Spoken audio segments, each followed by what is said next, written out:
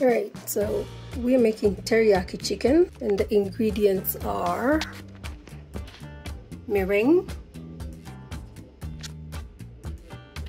red wine vinegar, teriyaki, blackstrap molasses, honey, and of course the chicken. So I'm using one cup of teriyaki. The next ingredient is rice vinegar, which I do not have, so I'm substituting with a quarter cup of apple cider vinegar. Next, we need six tablespoons of honey. Stir in the honey until it's melted in.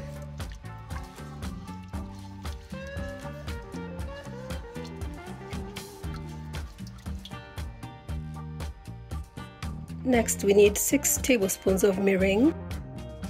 If you don't have mirin, you can substitute with white wine. Your recipe will not be as sweet if you use a white wine.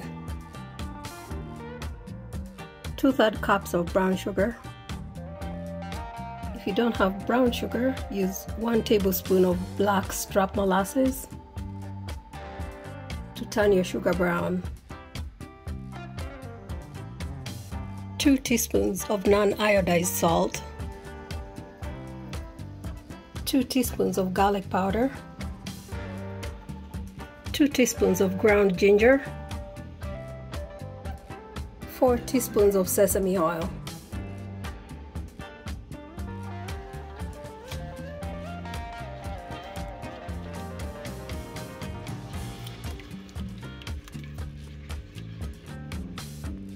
We're going to put this on the stove and let it boil for 5 minutes. Then we're going to add in our chicken thigh pieces and let them cook for another 5 minutes. This is 5 pounds of chicken.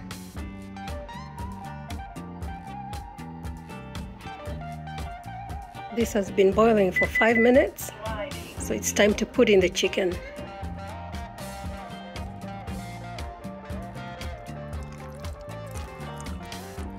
So stir in the chicken, then bring it back to a boil.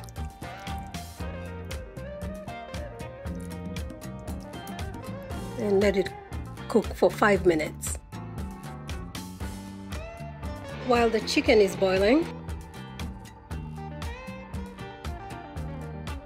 I'm getting my jars ready for canning.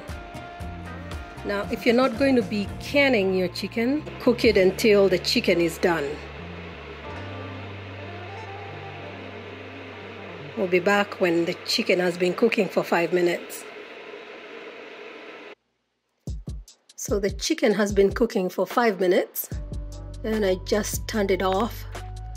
I'm going to use a slotted spoon to get the chicken into the jars and once I have the chicken in the jars then I'm going to add in the teriyaki sauce so I can distribute it evenly. And I'll be right back. Alright we have six pints of chicken each one with about an inch and a half of headspace and I'm going to add in the liquid. Alright so we didn't quite have enough liquid so we're going to make up for the difference using some chicken stock.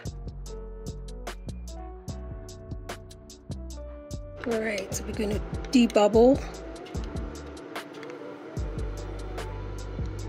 and add some more liquid if we need it. We're going to leave about an inch and a half of headspace.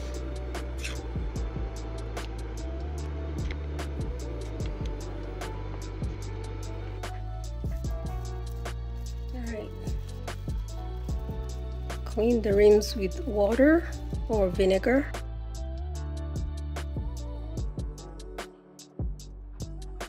Make sure there's no sticky teriyaki on the rims.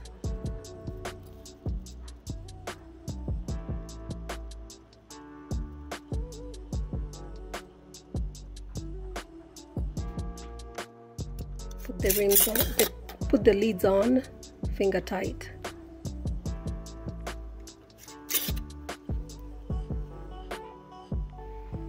All right, I can only get five jars at a time into the pressure canner.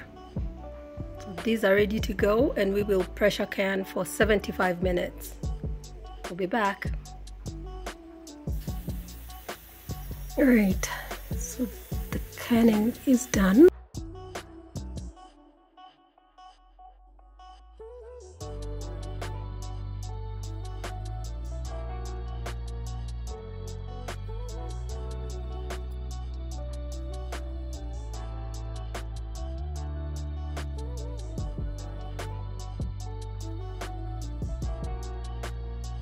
As you can see, it's still boiling.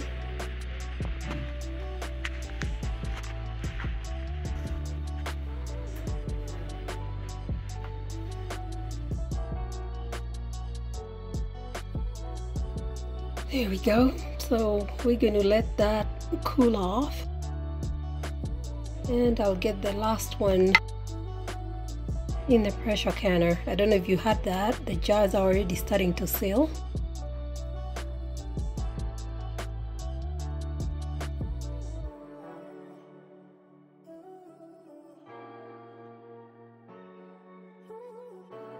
It smells so good in here.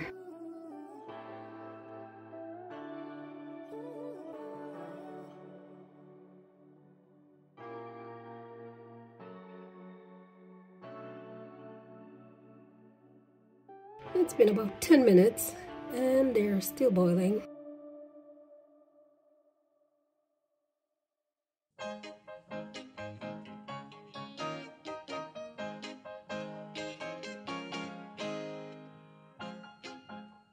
I should probably have mentioned that this recipe is from Angi Schneider's book,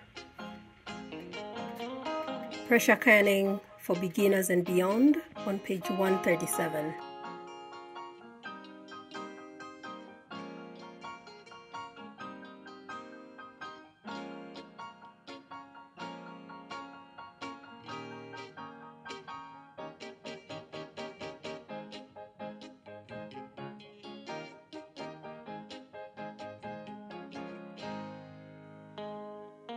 Goodbye, everyone.